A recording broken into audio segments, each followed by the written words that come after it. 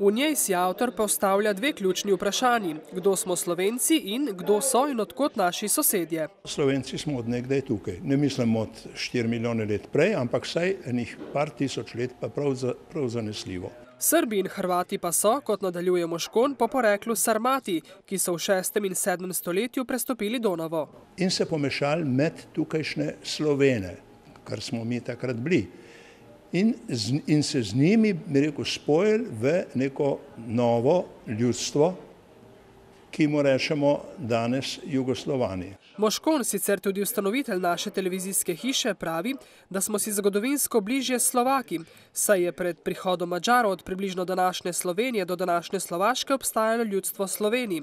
Na to pa smo mi postali del južnih, Slovaki pa zahodnih Slovanov. Čeprav ime Slovani sploh ni ta pravo. Ne? Ime Slovani je, je izmišljotina čeških eh, bi rekel, avtorjev.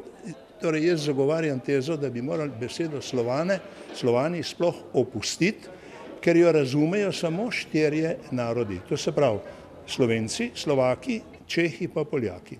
Vsi drugi govorijo o Slovenih. Avtor si želi polemične razprave, vendar do zdaj na njegove objave ni bilo nobenega odziva, kar po njegovem mnenju pomeni, da ni proti argumentov na njegove trditve.